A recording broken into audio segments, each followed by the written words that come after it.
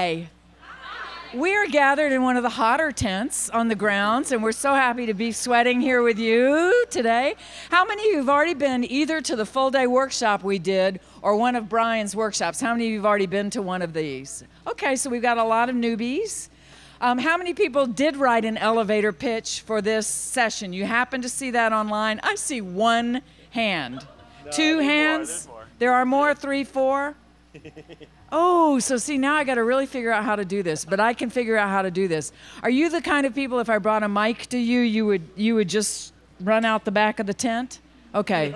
No, if you wrote a pitch, you're ready. Okay. Um, here's the way I'd like to suggest we use the time. And again, we've got a really crisp, strict hour. So I thought I would begin with just a bullet list of what I consider, if not best practices, then essentials for the writing life. And of course, it's my writing life. Uh, but I know enough writers to think that at least half the list will speak to at least half of you. Um, so if I can get my phone not to turn off while I'm looking at it, I'll be in great shape. And then the elevator pitch exercise, it would be fun um, to play with that. And though it looked again like, how many hands did you see? Four. Okay, four or five. Then, if you're willing, what would be a whole lot of fun would be to come up here and give your pitch. Because essentially, I'll get to that. I'll just hold that exercise. And then I'm going to hand the microphone over to Brian. Because for those of you, even a few of you who try a pitch, what you're trying to do here is gain a follower, right? To, to give a kind of pitch that'll have somebody say, I'd like to hear more about that. And you know what? If you fail miserably at that, you're looking at a person who has preached some sermons that never made it to the first pew, never made it. and two things happened. One is um, I, I um, made everybody in the room relax because they have said things like that too that went nowhere. And the other thing is they got to preach the sermon that day themselves. They went out to the parking lot and said, That was really, that sucked. But if I had that text today, I would have said. So I think that's great. You give other people an opportunity. Um, so if you come up uh, uh, and give a pitch, you may also shoot it right out of the park, and you'll have ten people wanting to buy, you know, more immediately. But if you'd come up here and give your pitch, it would be really fun to talk about that. Do, does that mean you need something? Okay, that's just excitement in your arms. Okay. so yes.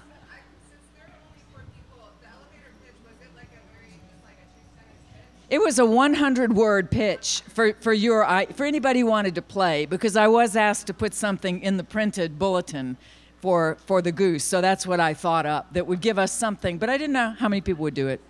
And if you want to get in late and do a couple sentences, it's just the idea is if you were in an elevator and that's all the length of time you had was between floors to get someone interested either in um, knowing more about something you, you were interested in or something you've written. And I find elevator pitches very difficult, very difficult. I always want to say, just buy the book.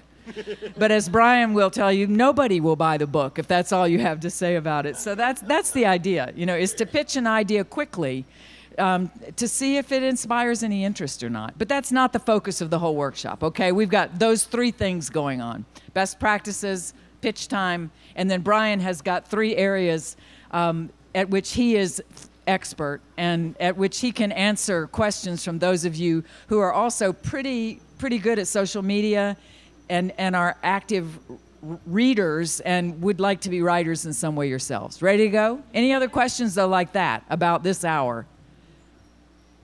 Okay, best practices um, for me. And these are not in any necessary order. It'd be interesting if you wanted to re rank them somehow. But here's how they came to my mind. Um, it, it seems necessary to me through a long writing life of 30, 40, I won't go any higher than that, years now, um, to have a habit. Some habit, a habit of writing is a best practice. And for me, that involves everything you would want if you had a steady meditation practice or if you had a steady fly fishing hobby. But uh, uh, fly fishing, you'd want a stream, your equipment, perhaps a partner who could call your family and say you had washed away. You know, but for me, um, a habit means, first of all, a place. Um, and it is a room in my house now. I also have a little uh, writer's cottage in the woods that I built with a little tiny bit of money I got once. But it's hot most of the year and cold the rest of the year. So I find I go there less. But a, an established place in my house so that the minute I walk through the door, I start salivating because I know I'm about to get some time in that room. Um, it is um, a place, it's a particular time. I'm a better morning writer. Some people are very early morning writers. Anybody here really early morning? You really do well with sort of monastic hours early up. And some sometimes that's because they're children or or elders you're caring for in the house. Other people are owls and late night hours are better. Any of you here? Okay. And then there are a lot of you not raising hands, so guess what? You can write at any time. You can write while you're waiting for a flight at the airport. You can write on index cards. You can write in beautiful little expensive notebooks you keep. You can write on your cell phone. Um, so you can write anywhere. But for me, um, the practice of a habit means a place, a time. I'm usually best from 8 to noon. Um, a medium, and that is for me now a computer but I'm really being drawn to go back to pencil and paper for a while to see what kind of writing that produces and at what speed, um, and to you know my standards at what quality.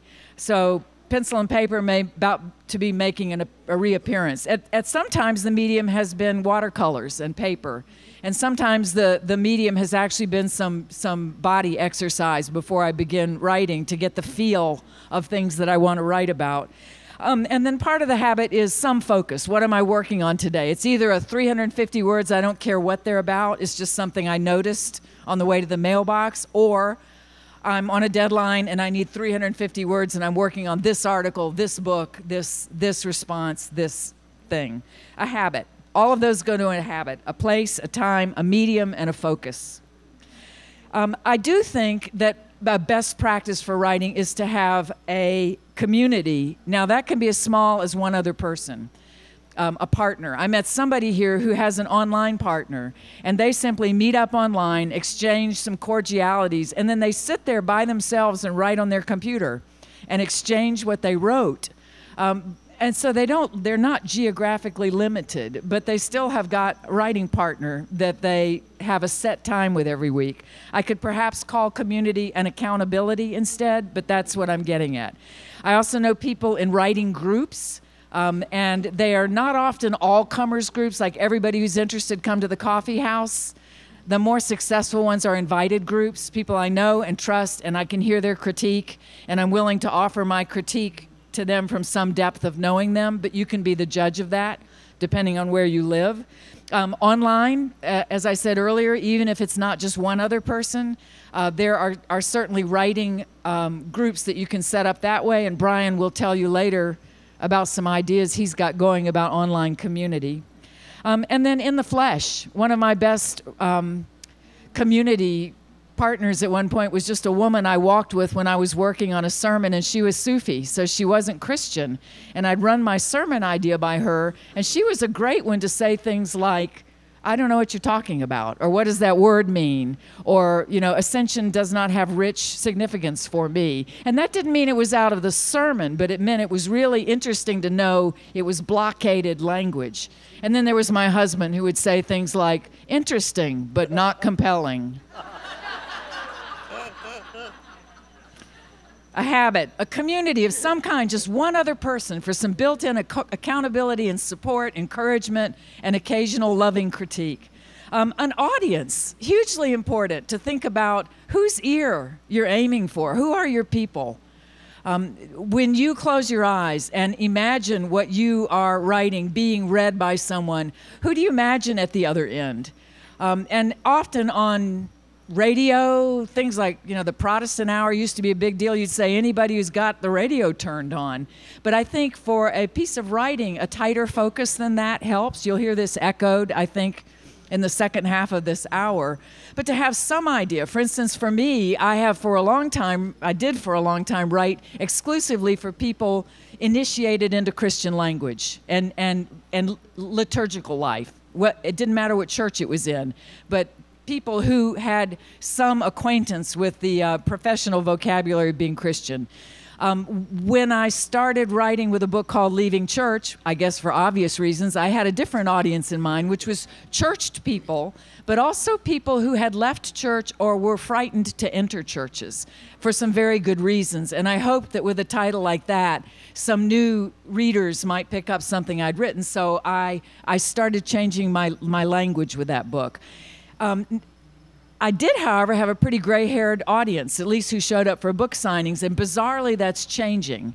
Always, when somebody wanted me to sign a book, they'd say, I'd say, Wow, you're reading my book. And they said, No, this is for my granny. You know, would you sign this for my Grammy? So I got, no, this is good. Grandmothers are fabulous readers. And furthermore, guess what? They gave my book to their grandchildren who read the books. So now all of a sudden, wonderfully, I'm also getting some age mix. So now I'm starting to think, you know what? I'm writing to people in their 30s and 40s, as well as people in their 60s and 70s. So the audience changes, but knowing who I hope will pick up the book helps me aim the book as I'm writing or whatever I'm writing. A habit, a community, an audience. Um, next step is a wound. I, a part of my practice is knowing what I'm struggling with. What is coming up in my life and the lives of my friends often enough that, that it is something I could be in community with other people about. Um, whether it's leaving church, and, and that only means leaving for three weeks, but I'll probably be back. Um, altar in the world, are there only altars in churches? Um, learning to walk in the dark. Wait, I thought darkness was bad.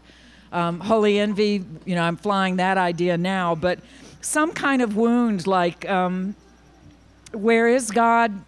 You know, is, is communion a movable feast? Uh, does God love Christians best? And then this latest one is, you know, does God play favorites? Uh, and, and, I don't consider my answers authoritative. It's why I write in first person. But some kind of shared wound with someone else, because that'll keep me engaged in the book, and hopefully it'll keep a reader engaged in a work as well. A habit, a community, an audience, a wound, and then a voice, which is a very particular choice um, in as best practice for writing. Um, what is my point of view going to be? Scholarly, intimate, inspirational. Again, I'm starting already the things you're saying have started to come into my part of the day. I'll be careful here. But for you know, for whom I'm writing will make a big difference in how do I position myself in my writing. I once heard Mary Oliver say, uh, somebody talked to her about how self disclosing her poetry was, and she said, Oh, that's my formal self. And I thought that was such an interesting thing. She never explained it, but in other words, in her poetry, the I was a curated I to a degree because she kept she kept some things intimate to herself, personal.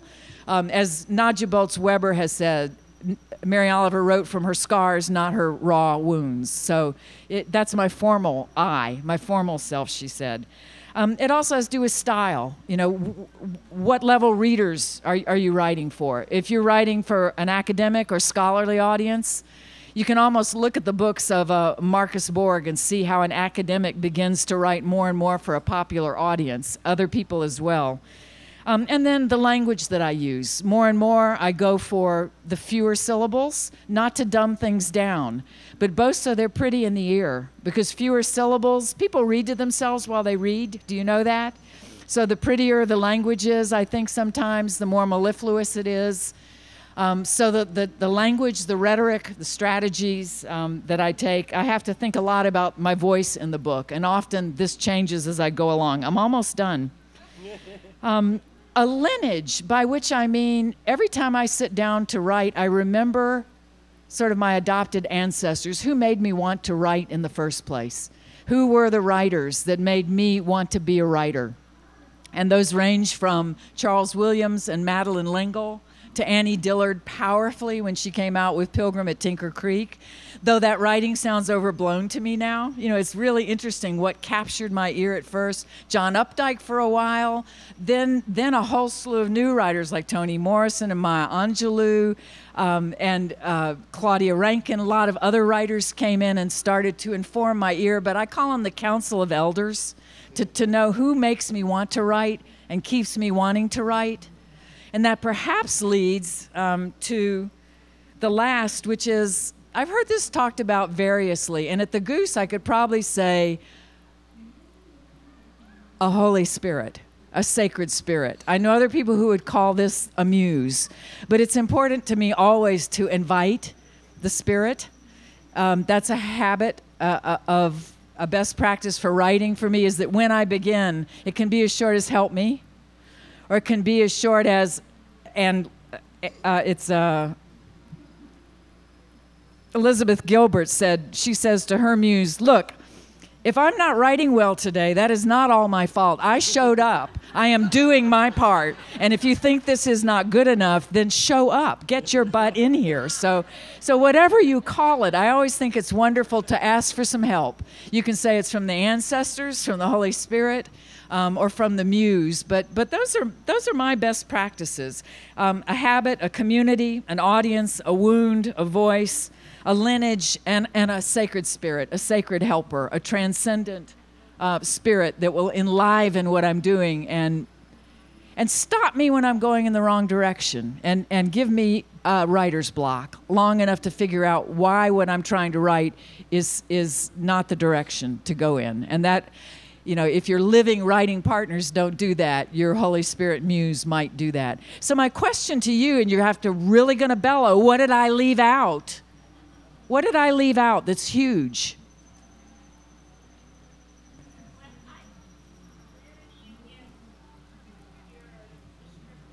The descriptors. And i'm not going to take a i am we, we're going to take a lot of general questions but i think that's fair. What are my resources? What books do i have around me? And i'm actually getting more and more of those. There's a thesaurus of emotions now. Do you know that that when I'm trying to describe an emotional state, because it's important to me to get that embodied, and I just bought a thesaurus of emotions that give me some suggestions for how that might come into language.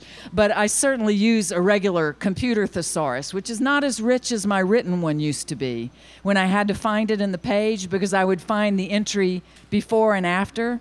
But I'm often going there so that red can, though Kate Rademacher's here and following a red, the red bird is perfect, but sometimes I want scarlet or crimson or rose, you know, and it seems, uh, I notice things like Jesus sometimes says, consider the birds of the air, but other times he says swallows. You know, and I, I think sometimes it's important to say raven or owl and not just bird. So, so as you can tell, it's language, language books that are around me. And then a lot of them are also other writers I read to remind me again how, how I like language to enter the ear. So anything from uh, that's a best practice for you that just was left out. This is wonderful, a, a quitting time. And I just learned at this year's Goose that uh, there are some disciplined writers here who have not only the starting time, but the stopping time. And if you're in the middle of a sentence, they say you get up and stop. And part of that is to signal your psyche you're not going to beat it to death today. You know, you're not going to stay in there until, as someone said, you've milked the cow so hard it's milking blood. You know, that's all that's coming out. So I think that's great, a quitting time. To be clear with yourself, because you do make a contract with your soul when you do this. What else is missing? Great entry. Resources, quitting time.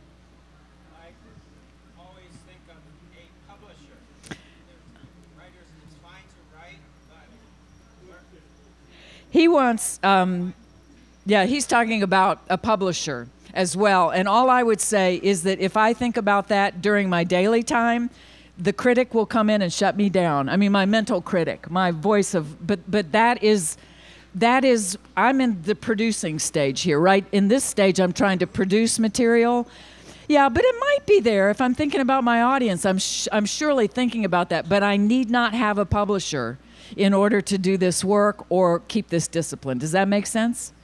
It is 20 minutes after the hour, and if I'm going to do elevator pitch, I want to be mindful of time.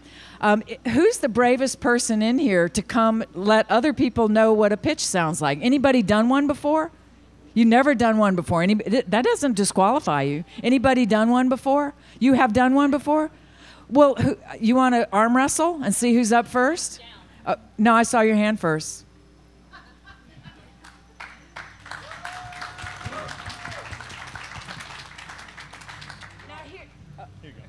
Here is okay. That's yours. Okay. This is mine. Here's your job. Just listen. In fact, we're not going to respond. We're going to let her pitch the pitch, and I might ask her how that felt to pitch the pitch, and then you can find her later. But I want to hear a couple pitches so you can hear how they're different. Okay. Take it away.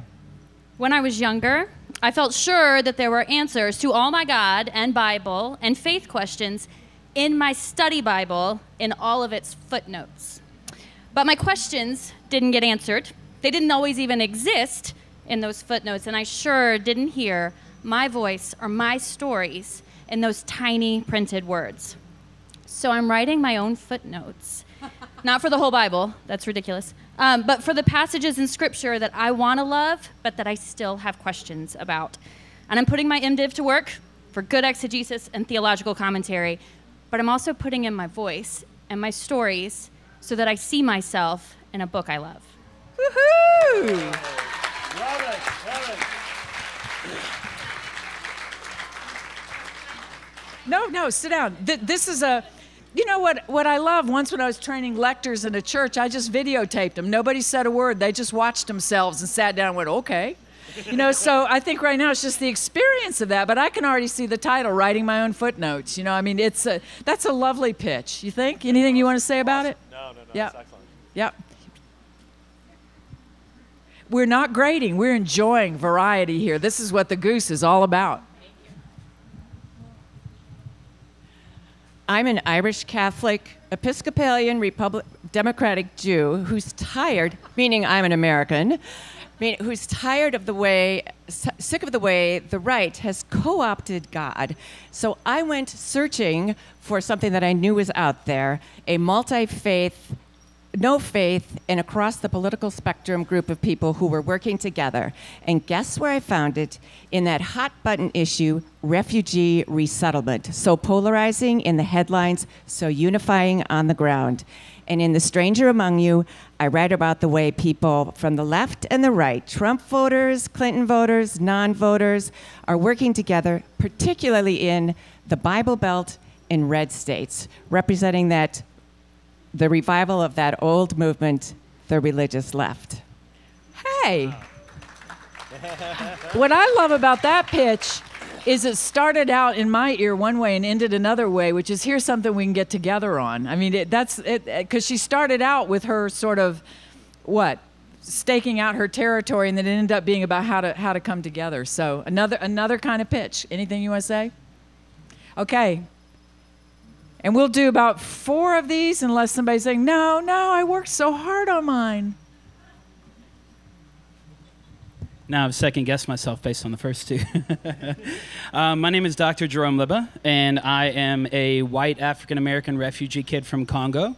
And I was raised in both the church and the clinical setting and what I refer to as the shallow end.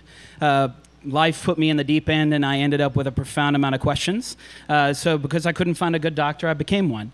And in the process of reconciling my history as both a patient and a doctor, a doubter and a believer, one of the things that I ended up doing was creating the first brain based model for the Enneagram, uh, which is completely founded in neuroscience and allows people to transition from reductive and weaponized versions of personality typologies to holistic identity profiles, allowing them to practically and realistically move towards wholeness and wellness. He did that without notes. That's I'd pretty like serious. to point out. so I'm noticing two things do you hearing the self descriptions that come up at the beginning of these, which is pretty interesting, pretty good way to grab people. You know, it's like here are my five adjectives. This this is me and describes me. So I've heard that in all three in a way. Here, here's here's here's the me you're hearing from in this pitch. And the and the only thing I'd say about yours is you got to go six floors. So, uh, you know, some of you, and, and that's my problem, is if they get on with me in the basement, they got to hang to the 12th floor. I can't get done. So, but but everything that that's good. You know, wouldn't that be wonderful if somebody, if their floor came and they said, "I can't get out yet," I'll ride up with you and I'll ride back down. That's a wonderful way. Anybody else? Yeah. Oh, look. Okay. Yeah, come on up, cause a front row, and I'm going to watch the time, which means I've got another idea in a minute. Elision is the act of contracting words, removing the unnecessary while maintaining the meaning and worth of a word. It results in informality and familiar conversation. The Latin root elidere means literally to crush out. It's a bit violent.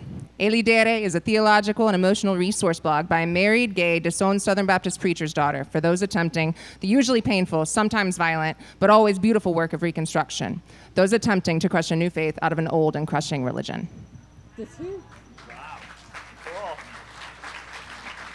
These are impressive. It's it's amazing how quickly you get the right, get the idea. Who else? You know, there's so many of you now. Listen, what should I do? What? Oh, oh, and you're really being athletic back there. So that was either to cool off or you really want to. Come on up. Yeah, we've got five more minutes. I'm going to run pitches for five more minutes. Is that okay? Huh? So I'm going to do this one and one more. And then your assignment, if you wrote one, I would stop the whole show and get you to pitch your neighbor, but instead I'm going to say you got to pitch somebody before you walk out of this tent at one. At two.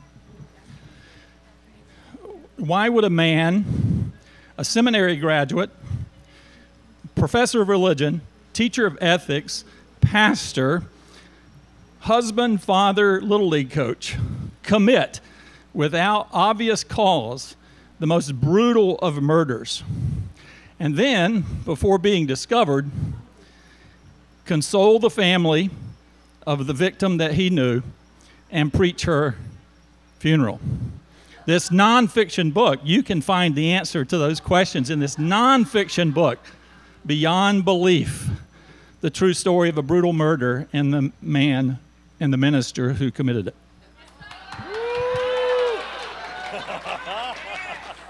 Somebody just said, Is it you?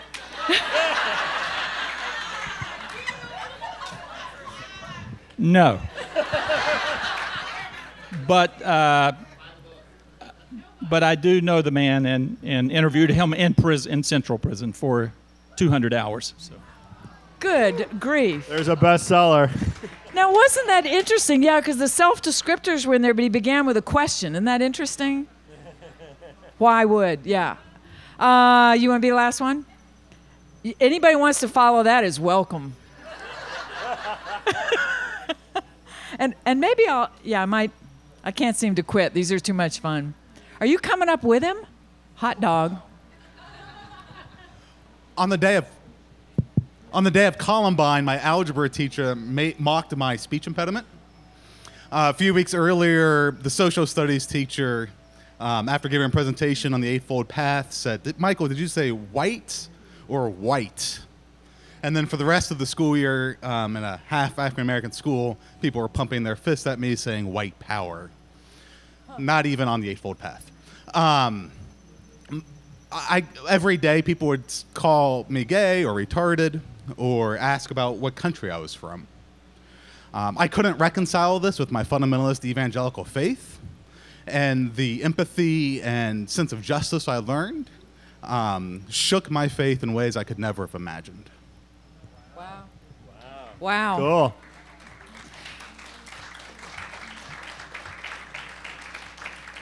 I haven't been keeping strict track, but could we end with a woman? Got a woman pitch here? Yeah, come on up. You were so you, you raised your hand. Don't so look terrified. I called on you. I'm so nervous. Okay. Just gonna. Okay. Okay. How can I be so thankful and so pissed at God at the same time? I asked my therapist in tears, how does your body have space for such big and conflict, conflicting emotions? In my journey, I've learned that Jesus sets up a feast of thankfulness on the shore of the sea of despair.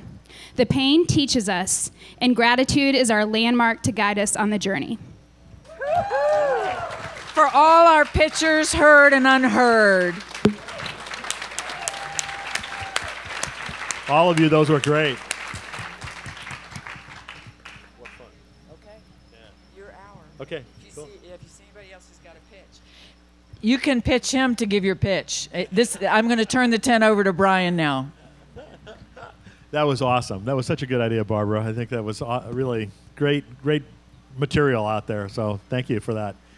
Um, so first of all, let me ask a couple questions. how many of you read a book by Barbara Brown Taylor? Oh, please. Okay. How many have not read Holy Envy? Oh, that's nice. Please go buy it. If you want to read a really good book, I, I highly recommend it. Just don't ask me to pitch it. Okay. Uh, okay, next question. How many people have read a book by Brian Allain? That's because they don't exist. Brian Allain's never written a book. So why is Brian Allain at the stage talking about best practices for writers, right? Good question, right? So let me give you a quote that I heard uh, not long ago from the CEO of a Christian publishing house. He said, 15 years ago, all I cared about was the quality of the writing. Now I don't even look at the writing unless they have a platform. Okay? So that's one man's opinion, but it's indicative of the sea change that has happened within spiritual writing. So 15 years ago, I, there was no reason for me to be up here with Barbara, right? She's the writer, I'm not. I'm the business guy. But the way the world has changed now, building a platform, and, and when people use the word platform, all they really mean is a following. you know, some group of people who care about what you have to say right? And, and that can take all kinds of different forms, whether, you know, it's mega church pastor, podcaster, social media, whatever, okay? So, but the point is that for a publisher to be able to invest in you, they only have a small number of books that they do per year. And most of those books are taken up by people like Barbara who have already proven that they can sell lots of books. So each year they make a bet on someone new, you know, a small number of new writers. And so that's an important bet for them and they want to find someone who's not only a good writer but also has a following right? So um, game changer completely different than you know many years ago where a writer's job was to produce the manuscript throw it over the wall and the publisher took care of everything else right? No longer the way that it works. So th- that's some of the bad news. Um, some of the good news is that with the advent of the internet you now have the ability to reach your customers, your audience, your people directly. You do not need to go through a gatekeeper. Gatekeeper, i.e., publishing house, magazine, you know, uh, television station, radio, whatever you know the previous forms of media used to be. You can now build your own following directly yourself. Really powerful, really good news. But again, they're bad news. Everyone's doing trying to do the same thing, right? So how do you get above the noise? Right? That's the key issue now in terms of becoming an established author. And again, I'm not talking about somebody who's you know already there. I'm talking about someone who's relatively new, trying to break through. so, kind of the strategic aspect of, um, of finding your niche, finding your audience is extremely important. And you know, I, I uh, we have like a day long version of this that we did the other day. So I'm going to kind of cut to the chase on some of the stuff. My recommendation is to find a very narrow niche that you can become known for. It doesn't have to be a big, you know, mass market kind of a thing on day one, but at least something that's got some amount of size, you know, critical mass in terms of an audience, where you can become the go-to person. And so, let me give a couple examples of, uh, you know, things that I think have, you know, been recently done that uh, exemplify this. It's really a good idea to th- to pick an intersection of two markets. So, for instance, there's a woman that came out with a book a couple years ago called The Spirituality of Wine. Right? So it's, it's, a, it's, a, it's an overlap between faith and wine. Right? So it's kind of an interesting little niche, right? And you can imagine your, your book tour being wine tasting events too, right? So, I mean, what's not to like about that? There's another book that came out by a pastor in Massachusetts by the name of Reverend Laura Everett. It's called Holy Spokes. S P O K E S. So it's a, she's a really avid bicycling person and a pastor, right? So her first book was about that overlap between those two areas. So just a couple of examples. And at our last Writing for Your Life conference, we had somebody pitch a book. She had just finished a PhD in medieval literature and she was a roller derby queen and and her book that she pitched and see your pitches were doing this. Did you hear how your pitches were aiming towards your audience as well as self-definition? But hers was what i relearned about jesus from playing from being a roller derby queen. I mean i want to read it already so. Yeah, I mean, so the, the I think the uh, opportunities for niches are endless, right? I mean, you know, the, we've heard some really great ones, you know, here already today. But having that kind of a narrow focus is just a, extremely important for someone getting started. Okay, so now let's say you've you've got that. Okay, you found your niche. You really can focus on that. What do you do next? So how do you build that platform? How do you build that following? And um, I like to use this analogy. Uh, again, I'm a business guy, so I apologize for using. There's a thing called a sales funnel, which you know kind of starts at the high level and works its way down to uh, ultimately consummate in a sale. Is the idea. At the top of the funnel, it- it's based in like three stages. At the top of the funnel, all you're trying to do is create awareness, right? Let people know who in the world you are, what in the world you have to offer them. So again, remember your number one again recommendation, number one objective in writing a book is to help people in that niche that you've identified. So how am I helping people? So you want to create awareness of how you can help them. So in today's world, and I'm, I'm going to use some generalizations here. So there's exceptions to everything that I'm saying, but in today's online world, the best way to attract new people, make them aware of you, is Facebook and Twitter. Okay, now if you have a particularly young audience, then Instagram is really important. Um, if you have a very visual audience, like for things around fashion or cooking, then Pinterest is really interest uh, is important. If you have a business to business more focused, then LinkedIn is so. So it kind of varies a little bit, right? You know, but generally speaking, to create awareness for the first time, Facebook and Twitter are the best to bring people to the second stage, you want to use those awareness things to get them to go to your website, to get them to read your blog, to get them to subscribe to your email. So, the number one thing that publishers look at in terms of assessing a person's following is how many email subscribers do they have? Right? So, you can't just start with trying to collect email addresses because, you know, nobody's going to know who you are. So, you have to start with the awareness, get them to subscribe to your email, read your blog, go to your website so that you can build a relationship with those folks. They begin to trust you, they begin to get to know you. And then finally, stage three, hopefully they'll buy your book. Or maybe someone who runs a conference will be so excited about your work that they will invite you to come speak at a conference. I mean, one of the things that's another important aspect of a writing career these days is that you don't make a living just by writing books right? I mean, the, just the, the, the, the economics of that are just not as lucrative as they used to be.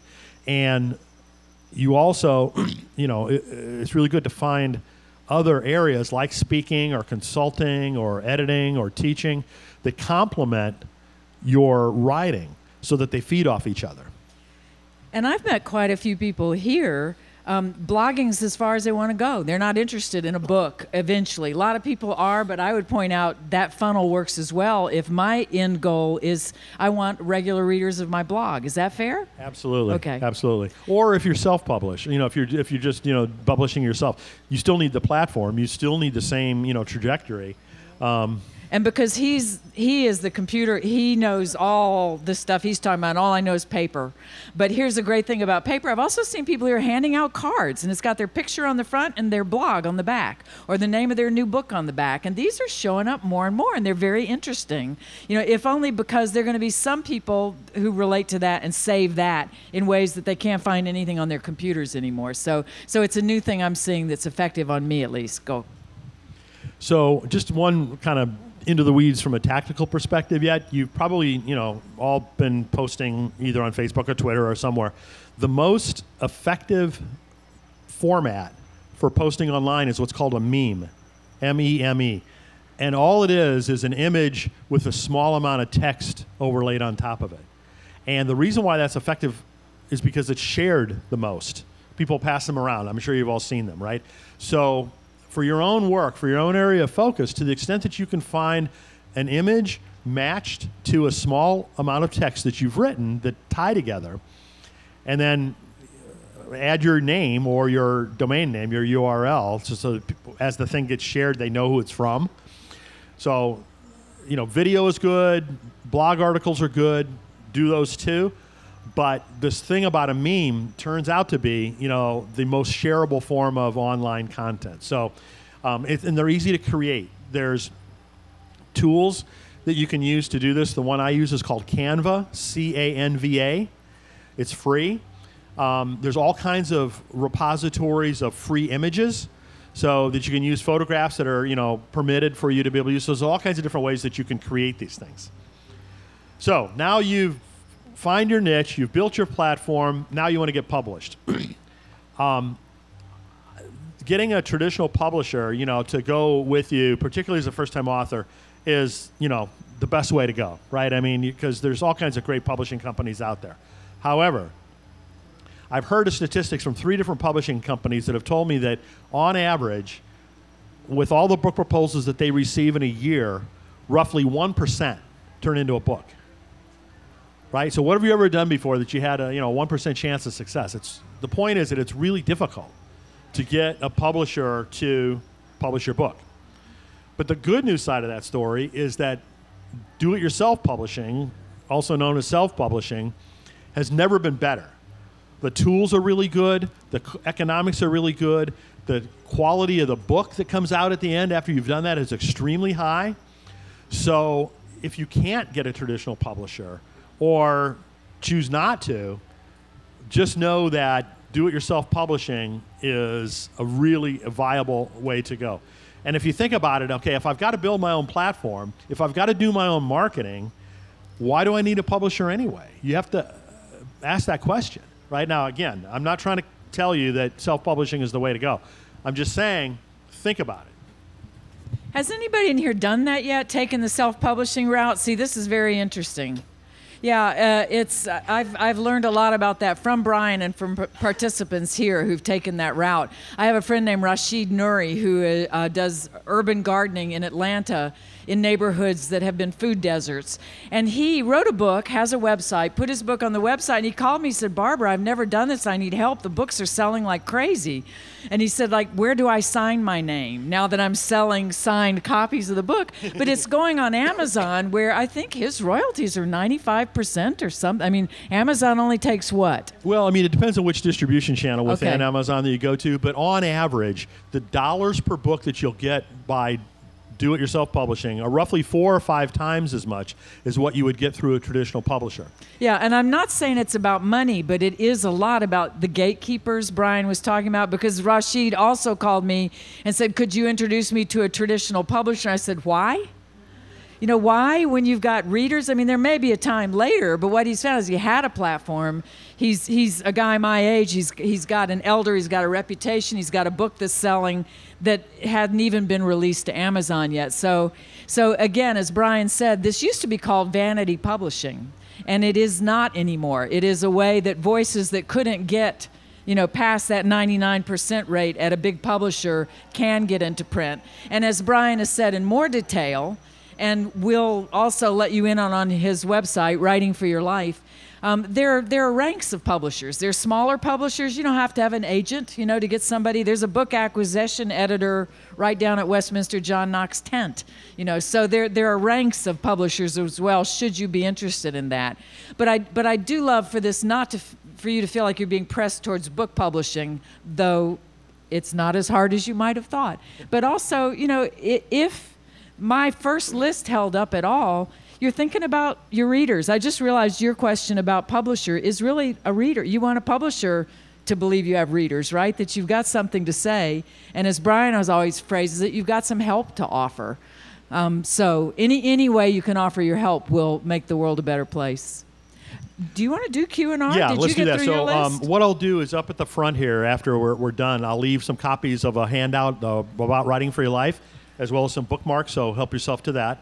But yeah, let's open it up to, But uh, did you get to done? questions. Pardon? Yeah, well, yeah, and, and yeah. people can ask you questions. Yeah, we'll too, stick so. around afterwards too. Oh, so- really? Gee. Okay, we've got five minutes. Yes.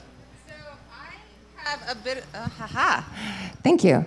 So I have a question about being a gay author. Essentially, um, I am very proud of my sexuality. Uh, I've said repeatedly I define myself as an Angian because Angie is my wife and she's all I want. But I I love everybody and I want to speak to everybody. And though I do think that my sexuality is a crucial part of who I am, I worry and fear about getting pigeonholed in spiritual writing by mentioning that I'm gay in something like a pitch.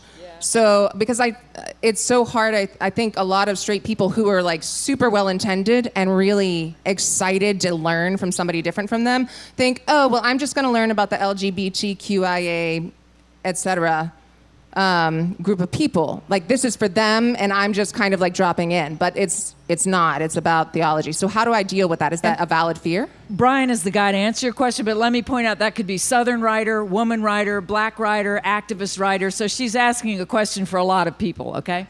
Okay, so here's my thoughts on that. Remember, I said earlier to pick a narrow niche, you know, when you first get started. That doesn't mean you have to stay in that niche forever. Okay, I was ho- hopefully not misleading people on that. Once you have a, a following, once you have a beachhead, once you've published a couple books, you can do whatever you want, right? I mean, Barbara, anything that Barbara would write, we would all read because we know it's going to be phenomenal, right? Investment advice, nah. I would still buy it. I would still read it out of curiosity, if nothing else. But so my advice to you is don't shy away from that narrowness on day one of, of uh, identifying yourself. Um, for one thing, from a publisher's perspective, you know there are some publishers who will want to actively um, pursue you. There's others who will run away like you know crazy. They're going to find out one way or the other. So you might as well not try to hide it from them. And back to the kind of narrowness of your niche to get started. I think it's a good idea to identify yourself. We got time for one more, and then I don't think Brian or I are going to run away, but we have to vacate the tent. Awesome. Um, when creating a, a narrow niche, uh, if the niche is so narrow that it's it's unfamiliar to most of the people, for instance, I work in the world of neurotheology and I create content that if you Google it, three total results come up on Google, and two of them are mine. Right, so I don't know if anybody else can Google anything that comes up with three results, but it's pretty hard. So trying to figure out how to on ramp people into something that is quasi academic, quasi practical. I guess the question is, when you're introducing something that is quintessentially niche and almost too narrow, what is the best way to on ramp somebody to introduce them to it, but still to make it practical for them so they can engage? Well, I mean, I, I think the um, the first answer to that I would come is, is the type of language that you use. You know, you really want to use. I'll use the word lay person's language as opposed to academic language. So you make it access, accessible, uh, not just your book, but also all your marketing, right? You know, to make it something that people can easily grasp. And I mean, the bad, one of the pieces of bad news about online marketing is that you only have a nanosecond right, to get someone's attention. So that's this whole idea of a meme that I was talking about. You want to immediately capture someone's attention with like an emotional connection, if you can, with that image and with those words. So, you know, you, in your particular case, you've got to, I hate to say this, dumb it down at some level, right? You know, to make it very succinct to get the point across quickly. But uh, almost everyone that I talk to, they fail by being too broad as opposed to too narrow. So I don't worry about the narrowness. And what I think of instead of, uh, I mean, dumbing down, point well made, because dumb is one syllable, but it's also remove the language barriers. Remove the language barriers. And I think you can do that in your meme, you know, as well. You know, I can see a question mark already, or so and so for for ordinary. It's sort of variation on the so and so for dummies, yeah. you know, which was That's- a wonderful way of dumbing Absolutely. down. It, Yeah, it, yeah. it owned that phrase. So, um, how are we on time? We're done. Okay. One more? Who- Who's got a One one, more who's question. got a 30 second question with a 30 second answer? Then thank you so much. Okay, we got one more. No, she's picking it up. I just want to know what uh, what was your favorite book that you've read in the last year? Both of us? Come on, you have the great answer. Okay, so I just finished a book while I've been here called "Where Good Ideas Come From." Uh, since I'm, you know, heavily into innovation and thinking about launching new things, that's an important topic for me. So I, I just loved it. And I'm reading Elizabeth Gilbert. Um, what is it called? Thank you so much because I've loved everything she's written, and she keeps changing the voice she's writing in. So that I'm, I'm reading Elizabeth Gilbert's latest novel. You are wonderful. It is hot. Thank we gotta vacate the tent, but we'll be over there. Thank you.